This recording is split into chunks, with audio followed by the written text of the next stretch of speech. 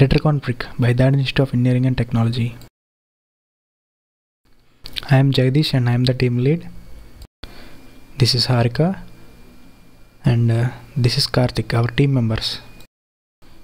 This is our mentor Guptha sir. This is our college. Our college is NAAC accredited and having one of the best infrastructures.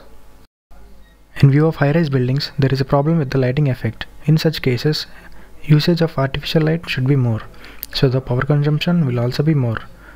To reduce the power consumption, we are introducing the new technique that is Litracon brick. This Litracon brick has the ability to allow natural or artificial light into the brick, which is on another side of the brick that can be passed through embedded optical fibers. This brick helps in reducing the artificial light and gives aesthetic appearance to the structure.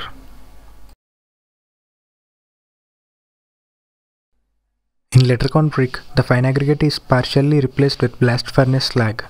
Blast furnace slag is waste material that which is released from the steel industries in a large quantity. Coming to business potential of my product, it is an eco-friendly product at construction site. It has the ability to get converted into any shape with the help of cement mortar mix. Also, it has unique principle to yellow light. So very soon our market will deliver an excellent product to the customers.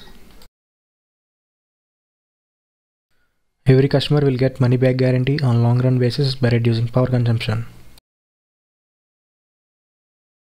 By partially replacing the slag material as a building material that attains a required strength to the brick and makes the brick as an eco-friendly. Litracon brick is also called as light transmitting concrete brick. Why? Because this brick has the ability to allow light into the brick from one side to another side. The transmission of light occurs through the embedded optical fiber. And by using this brick that reduces the usage of artificial light and increases the usage of natural light that makes the bricks as eco-friendly. By partially replacing the slag material as a building material that attains required strength to the brick and makes the brick as an eco-friendly to the environment.